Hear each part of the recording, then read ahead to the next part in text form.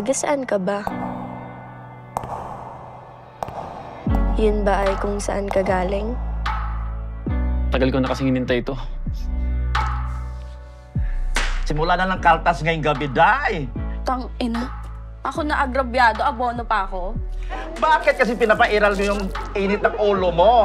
Alam kong mali ng customer, pero hindi dapat ganon. Elsa, ba't nandito ka? Wala kang pasok? Wala, nag-day off ako. Nakakapagod na eh.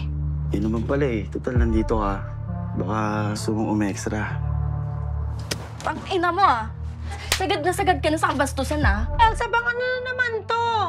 Paano yung pamangkin mo? Bubuka-buka ka rito. Elsa naman kasi, pag nandito ka naman sa bahay, huwag ka naman magsusuot ng ganyan.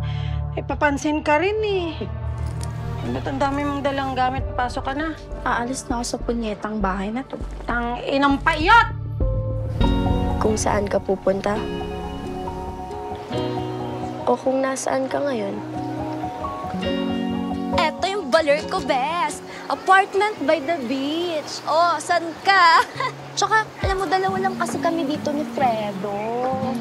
Jowa mo? Yes. Ito na yung pre. Pera pa rin yan, pre.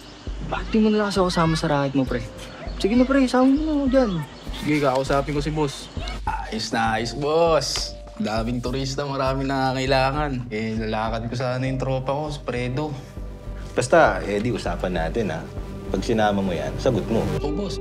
Si Auntie Bing nasaan? Anong kailangan nila? Eh, ako yung magdi-deliver ng mga pagkain tsaka panahog para daw mamaya. Ang pangalan mo? Elsa. Ako nga pala si Eddie.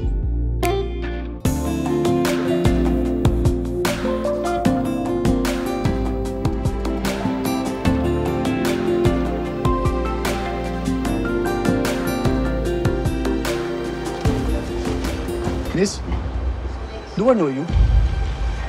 You siguro, sir. Bro, I had this party. It's so unexpected talaga. I only have enough stash for myself eh. Can you help? Sige, boss. Ako bahala. Hindi na pinagbayag ka ngay. Ada problema tayo to. ina. Feeling ko nasundan ako. Hey, Eddie, finally! Great timing, bro. Wala akong nakuha.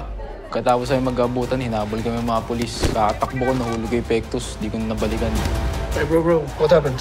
Pabayaran ko yung utang mo sa kanya. Yung girlfriend mo. Tali mo dito.